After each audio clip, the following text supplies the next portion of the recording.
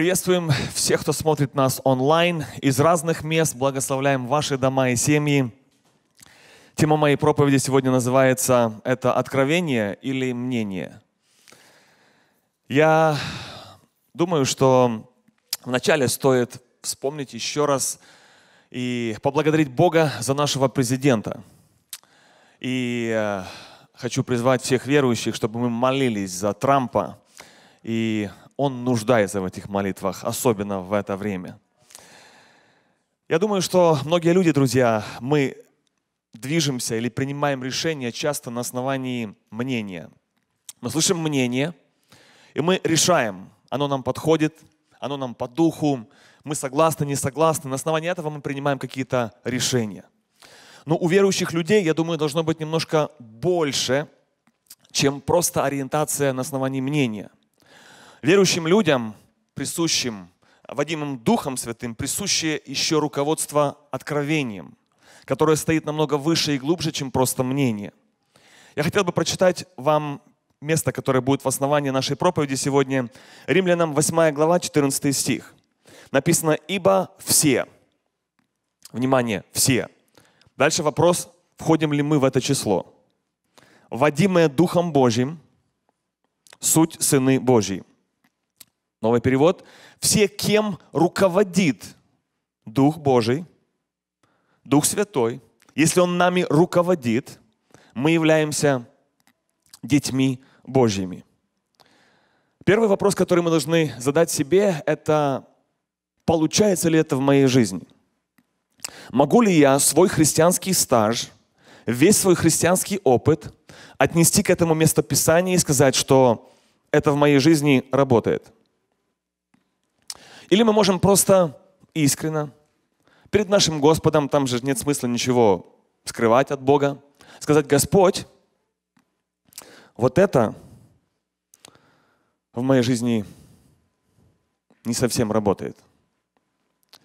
Правильно сказано, духовно, но не совсем знаю, как жить. Вот таким вот методом.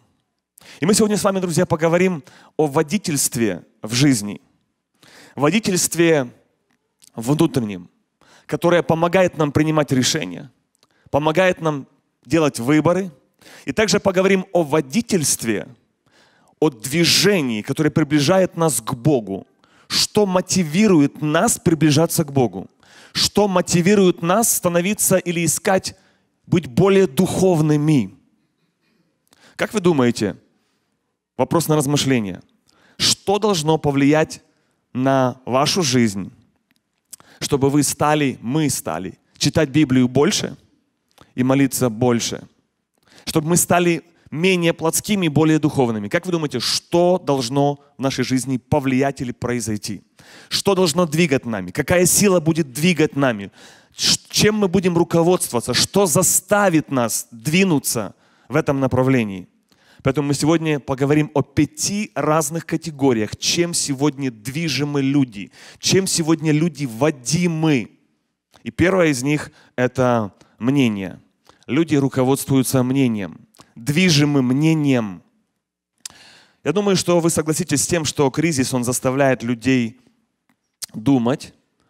Любое потрясение, резкие перемены, они заставляют людей искать, искать выходы и пути – но часто во время кризиса, переполоха, хаоса, часто люди руководствуются мнением. Особенно во время кризиса, когда особо и времени думать не дают, нужно быстро, резко принимать решения. В наше время сегодня для многих руководством движения ведомы стали и верующие. Это Ютубом, это Вайбером, это разными ссылками, пересылками, видео, мнениями друзей, подруг. Сегодня, как никогда, друзья, появилось очень много блогеров, влогеров. Если вы не знаете, что это такое, это люди, которые на интернете выпускают разные видео, информацию, постоянно, регулярно. Сегодня, кажется, самая популярная профессия – это влогер. Это вот, ну, на YouTube, кажется, платформа «Работа есть для всех». Если живой, открывай аккаунт и начинай говорить. И начинай говорить все, что знаешь. Правда, неправда, говори. Главное, чтобы было все так жарено, интересно, рискованно, захватывающе. ну и набирай лайки. Даже вот смотрю по моим детям, а, моя средняя дочь 8-9 лет, а у нее так вот оно, вот не знаю, вот такой сезон мы живем, она, папа, записываю видео. Вчера вот были на океане, и она представляется. Мы находимся там-то и там-то, мы делаем то и то, рассказывает всем, как на волнах нужно себя вести, там со всеми попрощалась, сказала, приезжайте в Джексонвилл, все, видео закончилось. Никто не учил никогда, но вот кажется, вот, вот она же это где-то видела. Вы же понимаете, что она же где-то кто-то повлиял, вот это кто-то научил. И сегодня мы живем в таком вот мире информации. И это интересно, что не просто, что этих много появилось, этих видеорепортеров, но они же стали на нас влиять. Кем-то это руководит, оно нам тоже в жизни либо мешает, либо помогает. Здесь важно разобраться. И выдавая любую информацию, например, на YouTube, часто нам нужно заметить то, что эти люди, не все, но иногда не несут никакой ответственности за ту информацию, которую они вам дают. Вот это важно здесь разобраться. Они не несут никакой ответственности за то, что они как бы сказали. Что-то нашел, открыл, подумал там. Сегодня модно теории conspiracy, как это по-русски? Uh, за теории заговора и, там, и так далее. И это все людьми движет, это как бы такой эффект толпы. Uh, сегодня много появилось фейк-новостей, новости, которые не настоящие или непроверенные, которые иногда могут быть вообще неправдивые. Сегодня можно много монтировать видео, вырезать, там, перекручивать, как бы даже вот мою проповедь можно так смонтировать, так все вырезать из контекста, что вы будете в шоке, что я сказал. И весь интернет будет, вырвали там два слова, вот сложили, Богдан сказал. Поэтому, друзья, настолько нам нужно быть внимательными, осторожными, чему мы доверяем и чем мы руководимы, кем мы ведомы, особенно для верующих. Друзья, особенно для верующих. В последней моей проповеди, помните, я говорил, что сегодня YouTube стал более популярнее, чем Библия. И YouTube – это океан, в котором можно утонуть и отравиться. Это вот об этом мы и говорим сегодня. Что люди часто стают ведомы мнением. Разные периоды в жизни, сезоны, они бросают нам вызовы. Но сегодня один из самых больших вызовов – это информационная перенасыщенность, перегрузка, взрыв мозгов – настолько информации подается много, что вы иногда даже аж устаете, да, не все просматриваете, то, что вам высылают, предлагают. Иногда кажется, аж ну такой идет вот гонка. Ты вроде бы дома сидишь, уже тебя физически привязали, остановили, а мозги там, скорость идет, тебе же информация грузят, бомбят. Получается, атака идет с другой стороны – Иногда еще такие там названия «Просмотрите сейчас», э, его скоро удалят это видео, «Распространяйте сегодня». И ты так задыхаешься, думаешь, не успел отправить, новое пришли. И вот так вот мы живем как бы под таким стрессом, давлением. А Библия говорит, водимые Духом Божьим. И мы останавливаемся. И я задаю себе вопрос, а когда в моей жизни я вот что-то подобное ну реально переживал, ощущал. Я возвращаюсь к этому. И сегодня, друзья, есть категория людей, которые сильно в Советском Союзе было, помните, верили телевизору. А сегодня некоторые сильно верят интернету. Если сказал кто-то по YouTube, значит, это правда. Это может быть совсем, друзья, не так. Коронавирус, которая пришла сегодня в мир, многих это подтолкнуло как-то двигаться. То есть люди начали быть ведомы мнениями.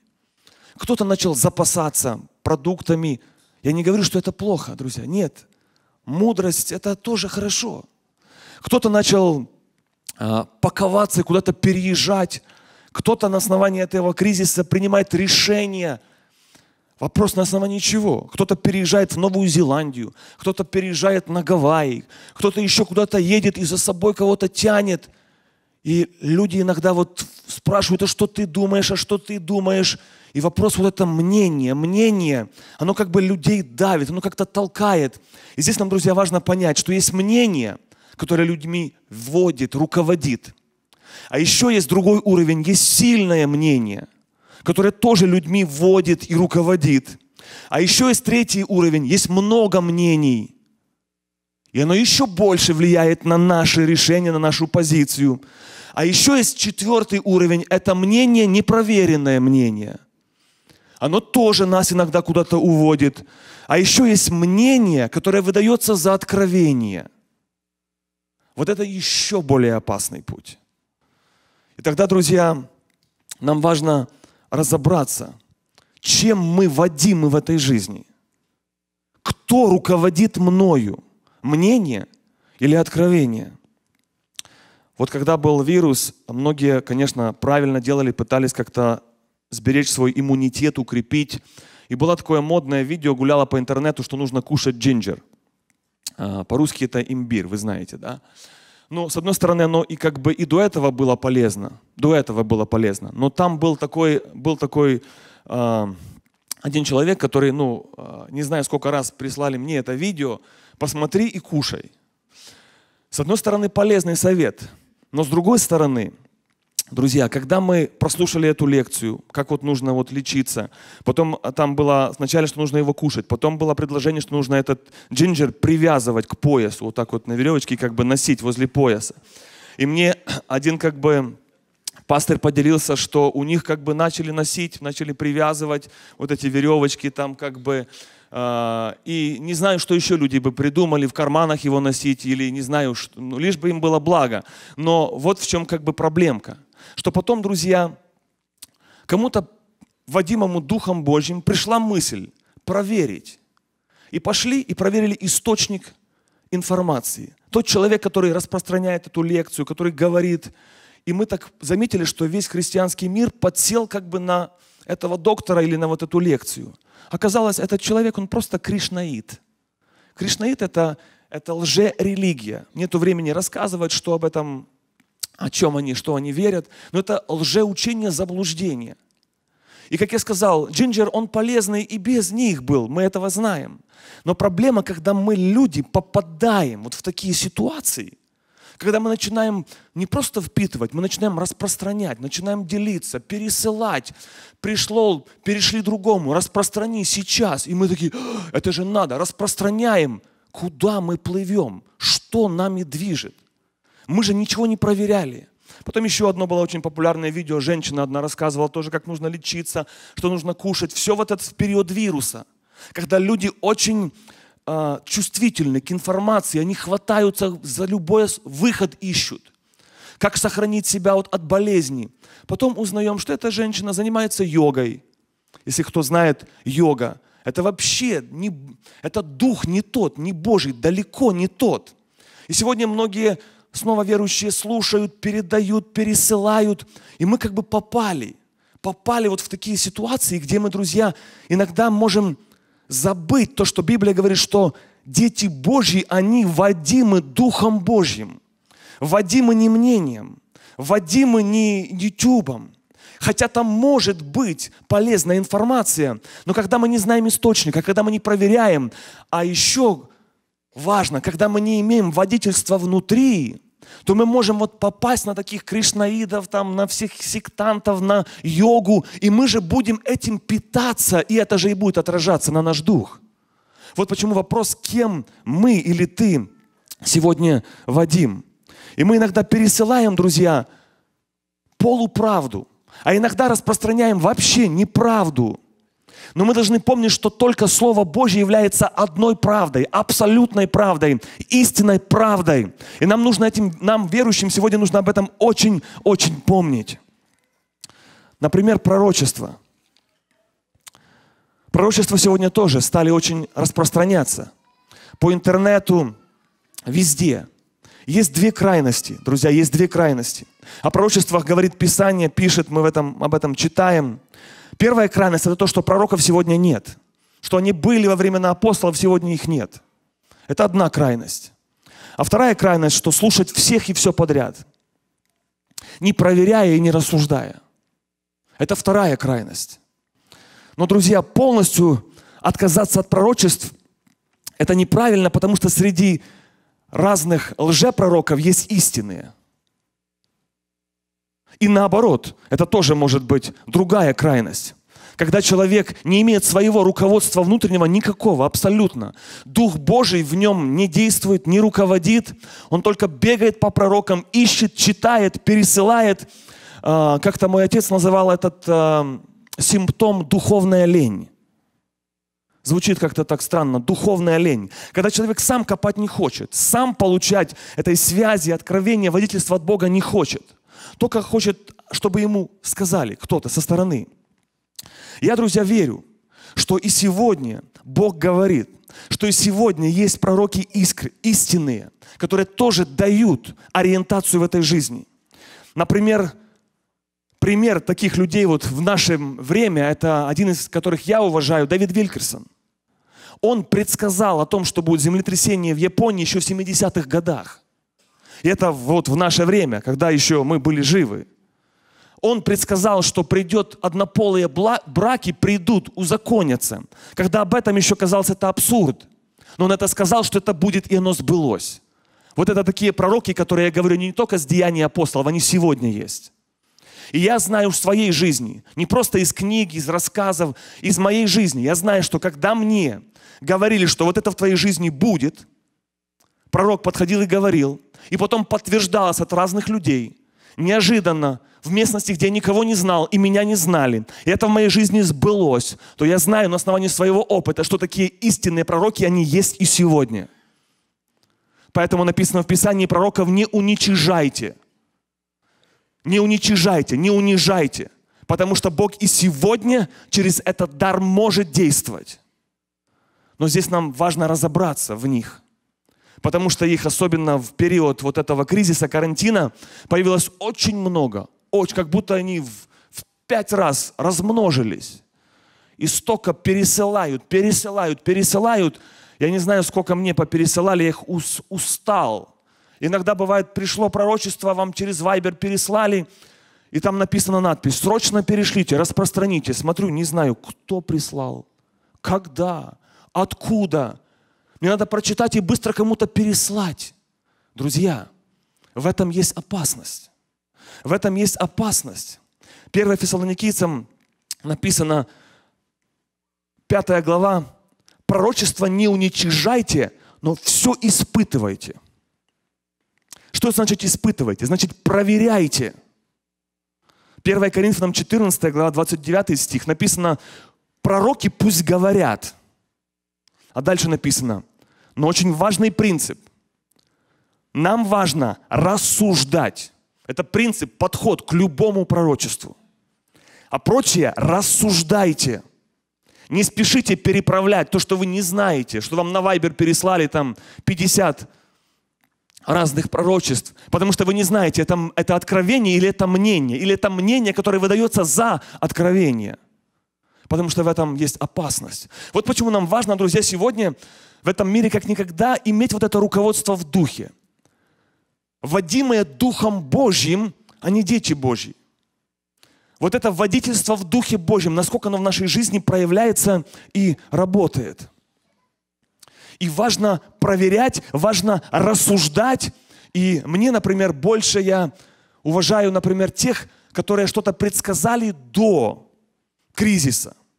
Не во время, а до. Например, вот пример Деяния 11 глава. Пророк Агав пришел и сказал, будет голод. До того, как он вообще настал. И был голод. Вот это Божье Слово. Четко, ясно, его легко можно проверить. Вот это то сегодня, что, о чем нам стоит, друзья, рассуждать. А что вы скажете, если вы услышали пророчество от кого-то другого или откровение какое-то вам кто-то передал? Как здесь реагировать, как быть? Первое, сверяй это всегда со Словом Божьим. Это абсолютный авторитет и истина, непоколебимо.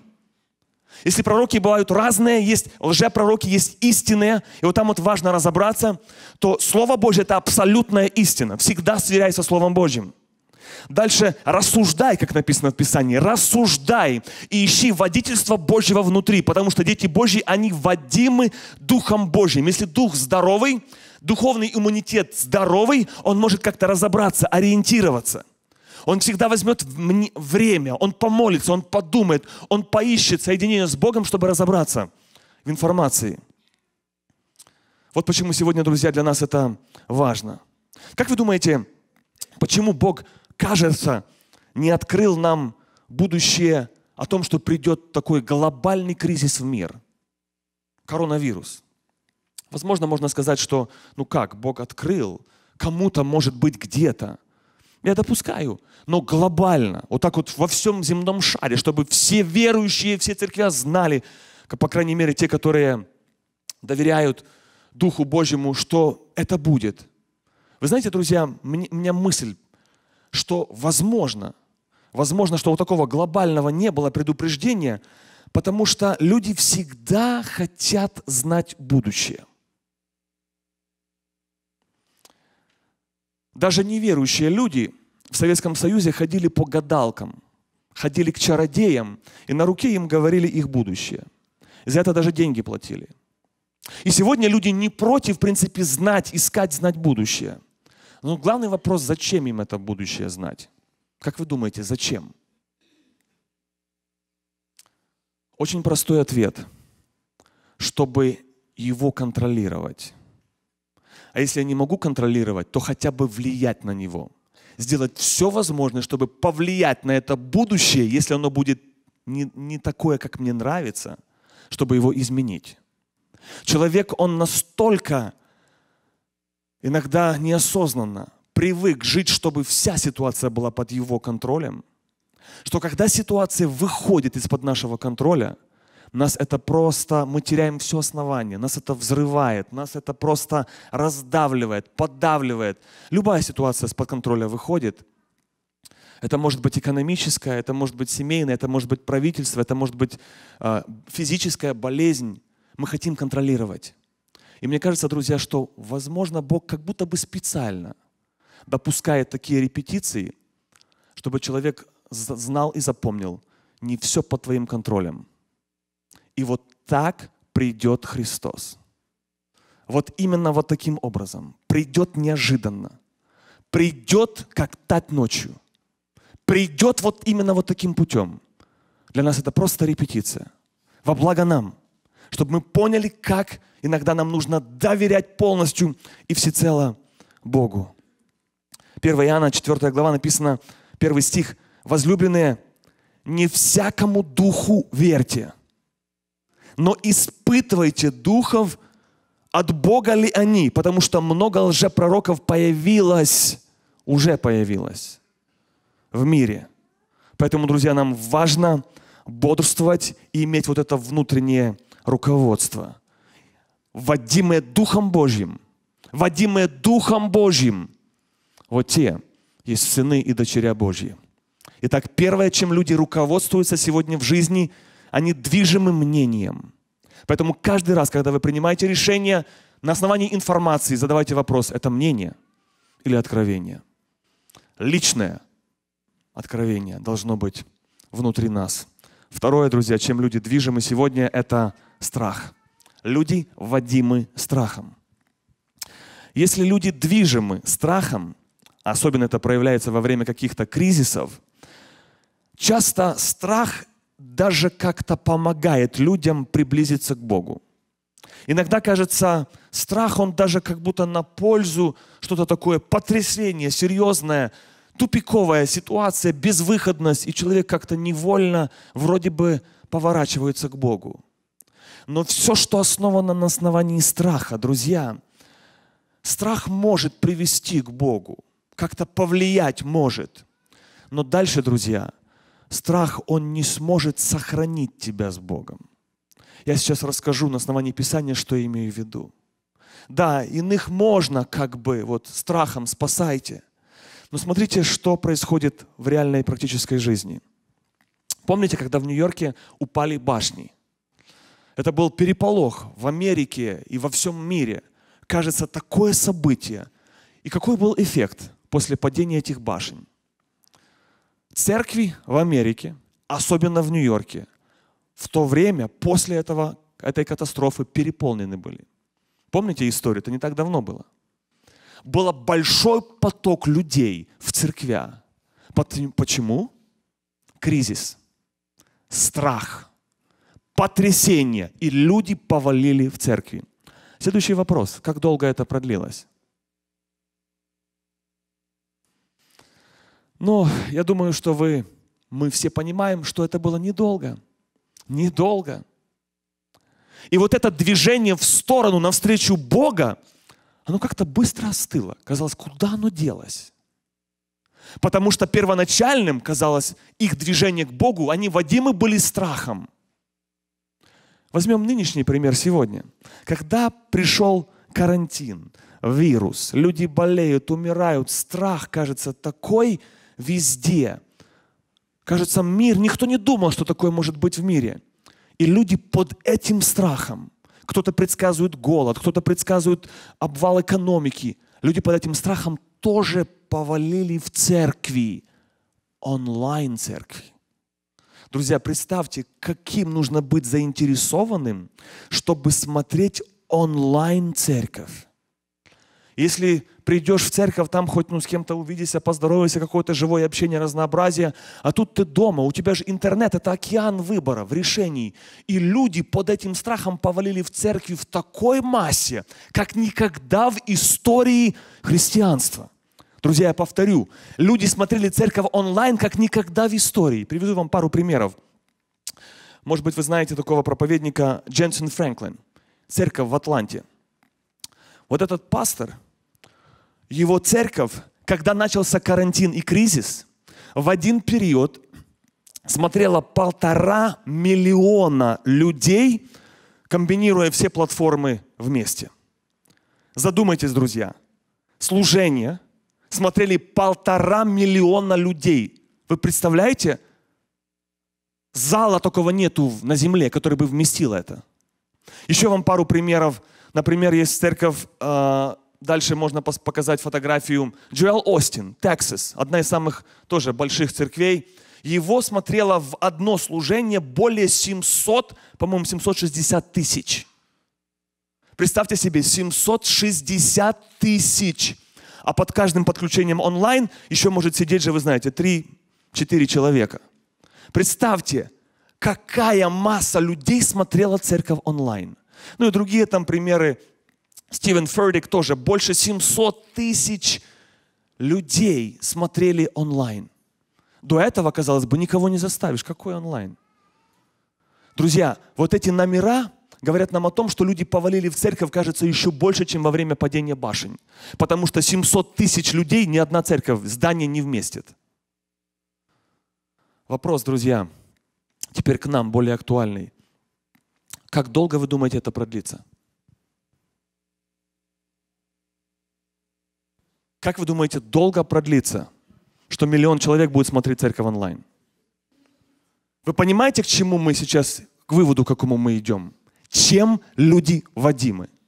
Что движет человеком?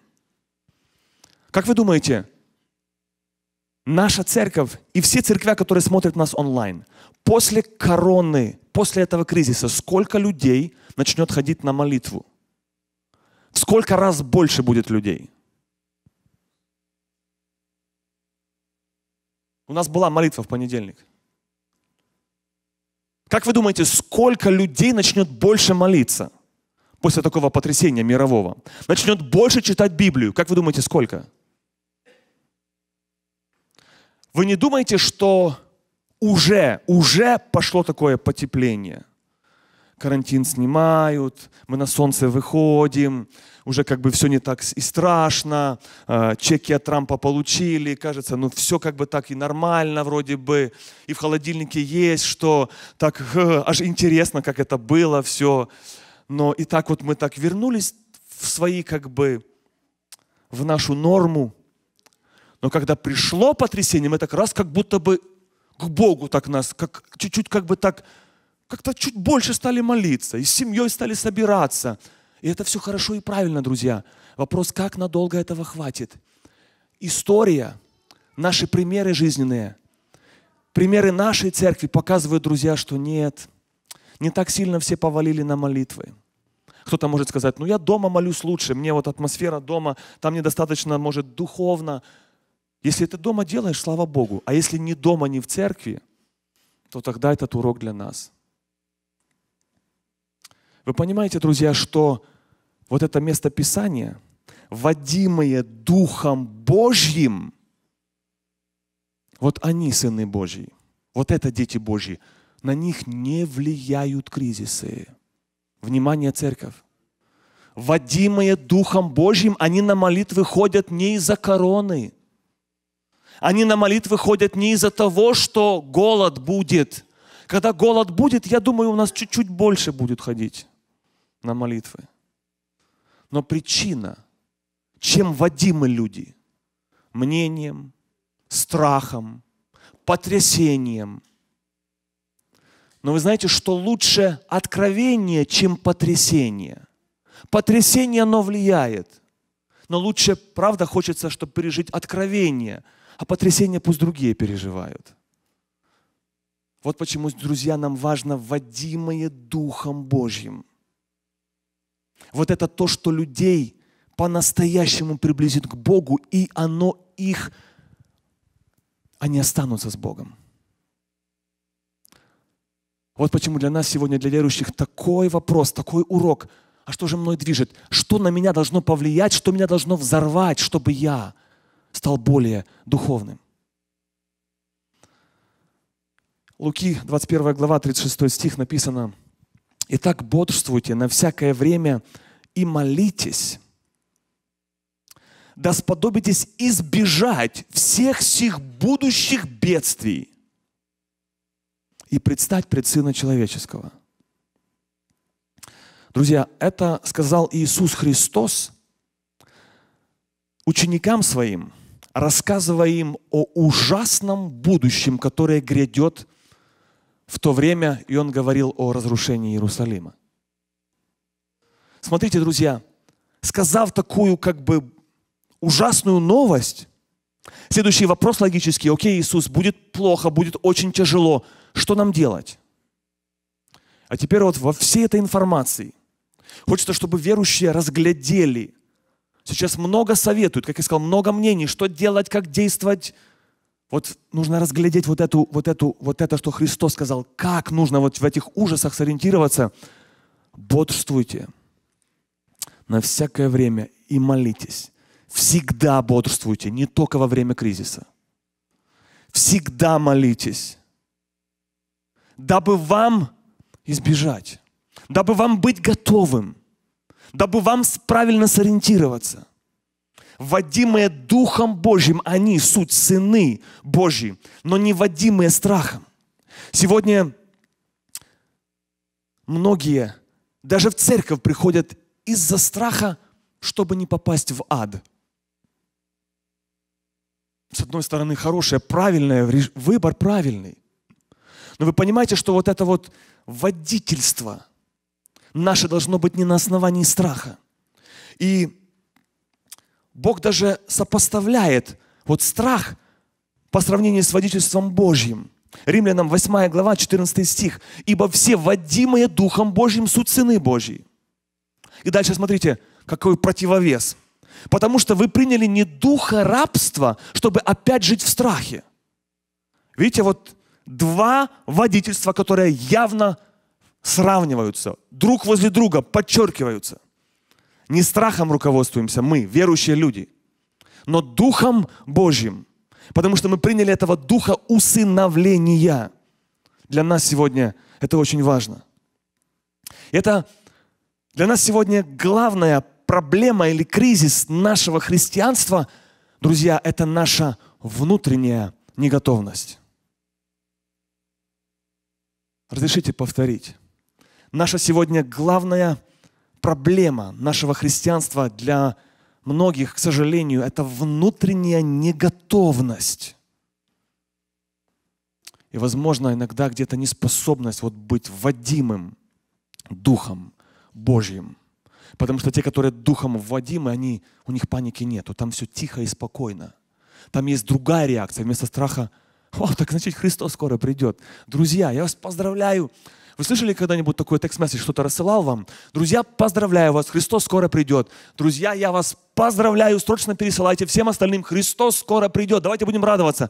Так голод будет, значит Христос скоро будет. Так кризис будет, так же ж, мы же скоро умрем. Значит, ближе к Христу будем, скорее на небо. Друзья, всех вас поздравляю. Пересылайте срочно это объявление, потому что скоро удалят.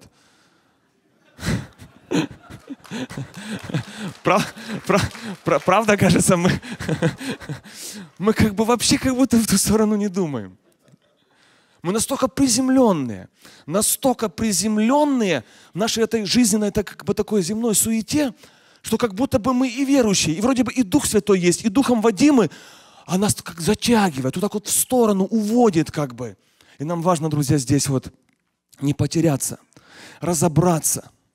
Бог вот этим снова подчеркивает, что точно так же христиане неожиданно точно так же придет пришествие Иисуса Христа. Эта ситуация, она просто вскрыла иногда нашу неготовность к встрече со Христом. Это была просто прелюдия.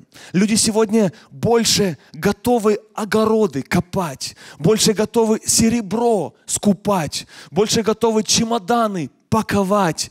А вот духовно, духовно это то, к чему мы должны стремиться. Церковь Иисуса Христа. Вот нам важно здесь не растеряться. Главное, чтобы мы понимали, что мы должны быть водимы Духом Божьим. А мы часто настолько приземленные, настолько мы живем земным, что мы даже и не сильно рады, что скоро будет пришествие Иисуса Христа. Матфея 7, 13 написано, «Широки врата и пространен путь, ведущий в погибель, и многие идут им. Как вы кажется, мы относимся к этому количеству группе многих? Многие написано, многие идут им. И дальше, потому что тесные врата и узок путь, ведущие в жизнь, и немногие – как аж читать больно, немногие, то есть меньшинство мало, мало таких, кто идет им. Как хочется, друзья, чтобы мы, вы и наши дети были в числе немногих, в числе немногих, которые там находятся, которые идут этим путем жизни. Друзья, я благословляю вас и призываю вас, давайте мы будем вместе идти этим путем. Давайте мы будем вместе стараться идти таким путем. Следующие, друзья, это люди, вводимы чудесами. Нету, наверное, времени у меня проходить по всем пунктам, но это тоже еще одно водительство, то, что, кажется, людей приближает к Богу или приблизит к Богу. Боже, если ты меня исцелишь, я буду тебе служить. Если атеист говорит, если воскреснет этот из мертвых, то я поверю, что есть Бог. Я верю, друзья, что и сегодня Бог, Он есть Бог чудес. И сегодня Бог может все, абсолютно все. Бог может исцелять и сегодня, потому что Он Бог. Он, он, он может, Он все может, Он суверенный Бог. Иногда не по нашим расписаниям, графикам и заказам, потому что Он Бог, не мы. Он Бог. Но, друзья, важно здесь еще тоже понимать, что нашим водительством настоящим должно быть снова что-то другое. Иоанна 2, 23. Многие, видя чудеса, которые Он творил, уверовали во имя Его. Смотрите, чудеса, реакция, уверовали. И дальше, реакция Иисуса. Но сам Иисус не вверял себя им, потому что знал всех их. Он знал, в других переводах написано, что у них в душе, знал, что у них в сердце, знал, что ими двигало, что ими водило, что ими руководило. Это вот эта гонка за чудесами, за сверхъестественным. А Христос сказал, блаженные невидящие, но уверовавшие, уверовавшие. Не увидеть, но уверовать в Него даже без этого чуда. На основании того послания Евангелия и жертвы Иисуса Христа – вот почему сегодня кажется, если бы у нас были чудеса, дай Бог, никто не против, но кажется, у нас бы сейчас все, все бы люди бы стали верующими. Кажется, все бы пришли к Богу. Я вам просто на память приведу одно событие. Исход, 15 глава, 22 стих. Моисей перешли, перешли Красное море по суше. Казни египетские. Кажется, этот народ в тот сезон увидели больше чудес сверхъестественных, чем любая нация или генерация на земле. После того, когда они прошли море, перешли через три дня, внимание, через три дня. Представьте, чтобы нам сейчас перейти наш Атлантик, да, по океану. Кажется, на всю жизнь бы хватило такого чуда. Нет, друзья, стержень не в чуде. Вадимы мы к Богу приближаем и не на основании этого. Связь в другом. Связь в другом. Мы водимы Духом Божьим. Мы рождены от Бога. Вот что нас к Богу приближает и с Богом делает связь крепкую. А те люди, которые видели чудеса, они начали роптать. Роптать на Моисея, роптать на Бога. И это сегодня для нас как пример, как иллюстрация, что ни чудо, ни страх, ни мнение, оно к Богу по-настоящему тебя не привяжет. Привяжет что-то другое.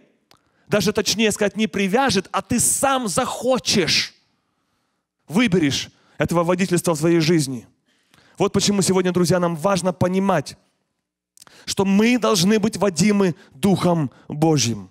Четвертое. Водимы нуждой. Люди сегодня иногда тоже приходят к Богу, иногда в бедных странах и, в на, и у нас, когда они просто их жизнь зажала, прижала и не пришли к Богу. Потому что не было другого выхода, просто была безвыходность. Но снова здесь хочется сказать, друзья, что Иоанна 6, 26 Иисус сказал таким людям, вы ищете меня не потому, что видели чудеса, но потому, что ели и насытились. Просто физическая потребность, вот это и вся мотивация.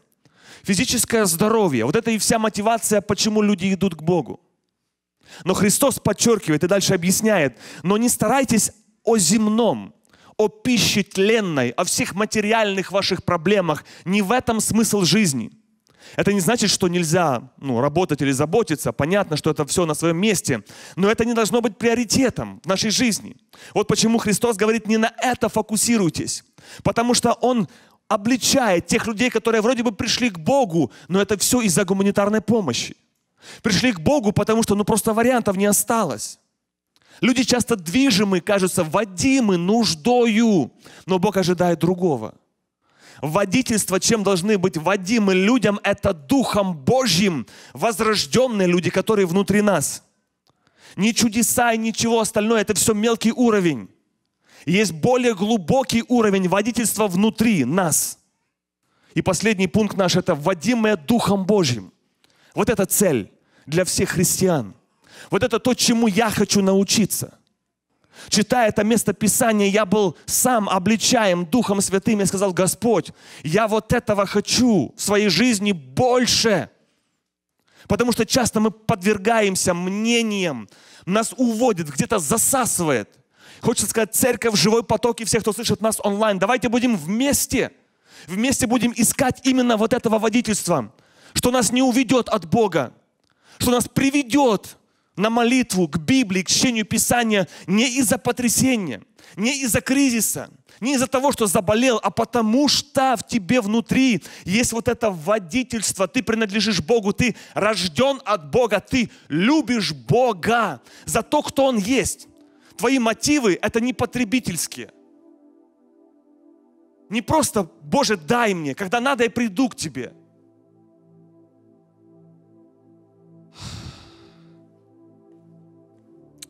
Важно отметить, что водимые Духом Божьим могут быть только те люди, которые рождены свыше, которые рождены от Бога. Только в том случае это сработает. Это важный процесс, очень важный процесс.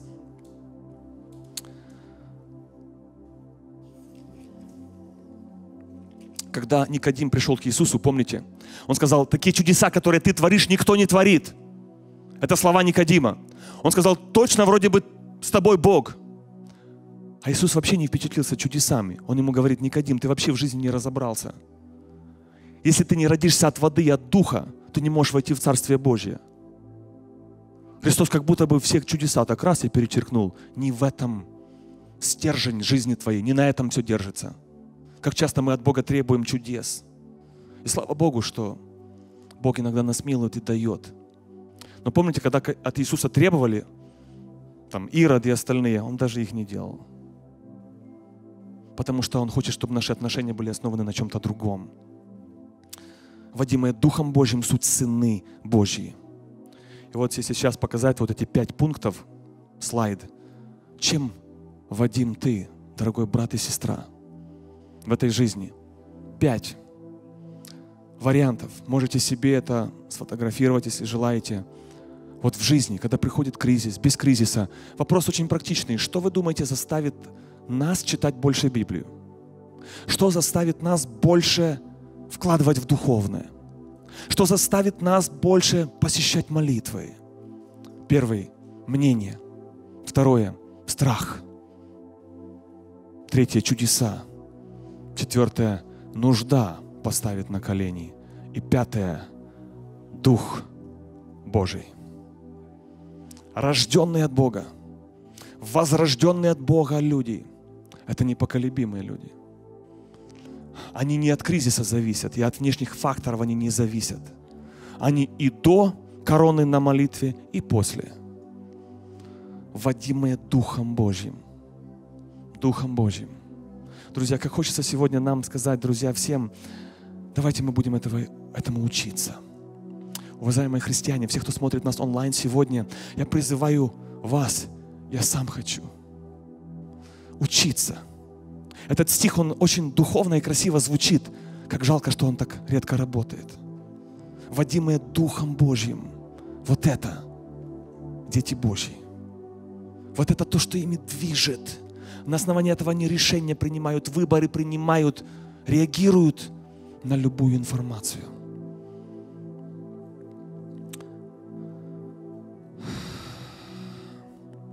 Вы скажете, как это практически работает? Это правильный вопрос.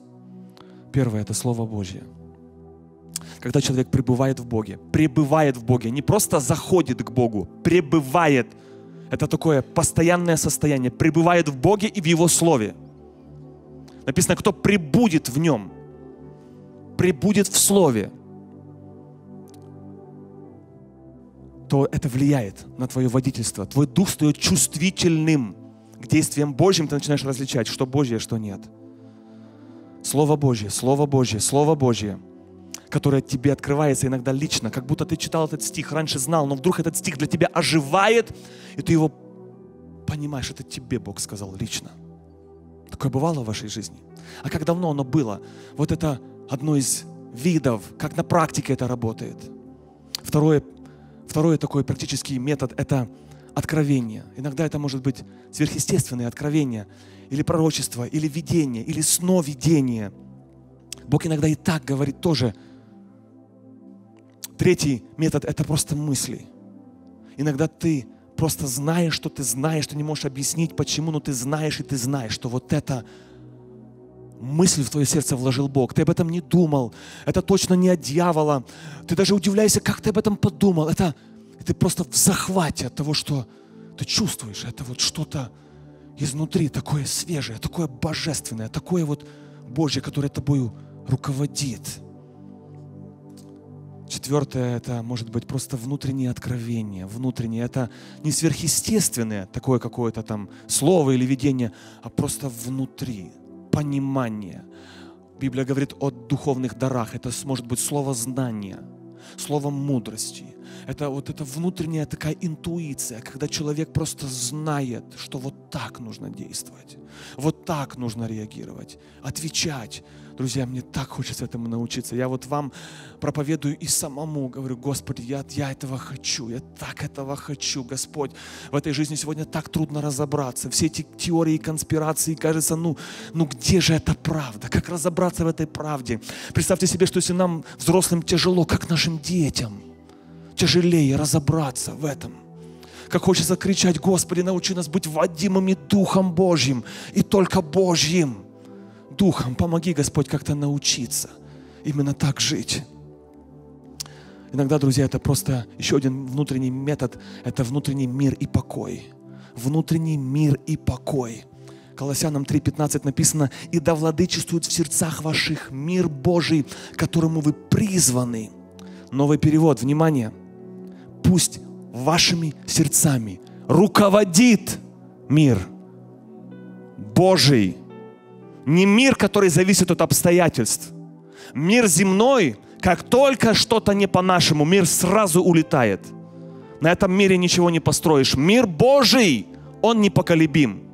Он не просто нам дан, друзья, церковь, не только чтобы нам было хорошо, не только для этого, но написано, пусть этот мир руководит. Представляете? Пусть он руководит. Вот когда нужно принимать решение, этого мира нету. Вот пусть мир руководит. Это еще один метод, как Дух Божий действует в жизни людей. Друзья, мы идем с вами к молитве. Написано в Писании, Галатам 5, 16. Я говорю вам, поступайте по духу, и вы не будете исполнять вожделение плоти. Мне очень нравится еще, что написано в Писании Филиппийцам 2.13, что Бог, внимание, это к верующим, производит в вас хотение и действия. В вас это в ком? В людях, которые принадлежат Богу. Потому что они Божьи, у них дух возрожденный, они рождены от Бога. Вот там Бог имеет вот эти антенны настроены с Богом. Он производит в вас хотение и действия по своему благоволению, по своей воле. То есть подтверждается то, что есть такой статус или уровень, когда в людях Бог руководит и ложит им желание. И здесь важно разобраться, это мое желание, это желание дяди с Ютуба, это мнение, это откровение или это от Бога в мой дух. Новый перевод написано, Бог совершает в вас работу, побуждая вас, вкладывая в вас желание. В английском переводе написано, дает вам, God is giving you the desire and the power. Бог дает не только желание, но и силу тебе, способность это исполнить. А вот уже выбор только за нами остается. Но Бог вот так вот людьми руководит, дает желание по Его воле, как действовать и как поступать. Давайте мы поднимемся на ноги. Сейчас мы будем молиться. Вы можете склониться, если вы желаете, на колени. Мы сейчас, если можно, споем какую-то песню, куплет, припев. И просто хочется сказать, Господи, научи нас руководствоваться Твоим Духом. Всегда задавайте вопрос на информацию, которую вы получаете. Это мнение или это откровение? Это мнение непроверенное или это откровение? Это чье-то мнение, это много мнений или это мое личное внутреннее откровение и водительство от Бога живого во имя Христа Иисуса. Аминь. Молимся, дорогая церковь.